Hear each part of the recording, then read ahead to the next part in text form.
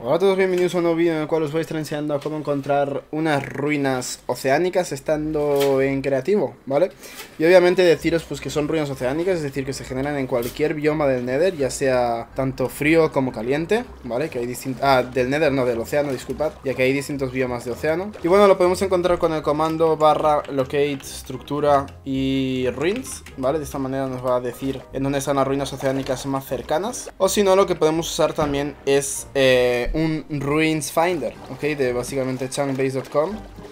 Podemos utilizar esta herramienta que, que nos va a permitir a través de la sitio de nuestro mundo ver todas las ruinas oceánicas que hay a nuestro alrededor. Y bueno, poco, poco más, pocos más tips que decir. Eh, recomiendo yo esta estructura, sí, ¿no? Es una buena estructura, ¿vale? No sé hasta qué punto te puede llegar a interesar encontrarla con comandos y en creativo. En plan, no, no, no está tan, tan, no está tan fuerte, ¿no? Si no fuese porque tiene el tesoro, el cofre del el mapa del tesoro y tal que está bastante, bastante bien. La verdad que yo ni me molestaría en buscarla, pero ahí ya va. Así que nada, poco más que decir. Espero que os haya gustado este vídeo. Si sí, deja tu buen me gusta. Nos vemos en futuros vídeos. Chao, chao.